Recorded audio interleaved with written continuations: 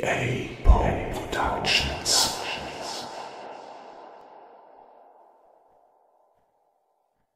EA Poe Productions liest Märchen aus Afrika.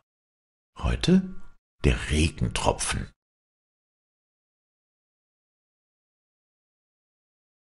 Ein Regentropfen fiel einem Kind in die Hand. Er sprach Schließ die Hand, damit ich nicht sterbe, und lauf zu den Hügeln mit den Bäumen und lass mich dort frei. Ich werde in die Erde dringen, und es wird Regen fallen. Das Kind schloss die Hand und rannte zu den Hügeln mit den Bäumen, so schnell es konnte. Aber als es ankam und die Faust öffnete, war der Regentropfen verdunstet. Weinend lief das Kind ins Dorf zurück und erzählte den Alten, dass der Regentropfen gestorben sei. Nun würde es nie mehr regnen.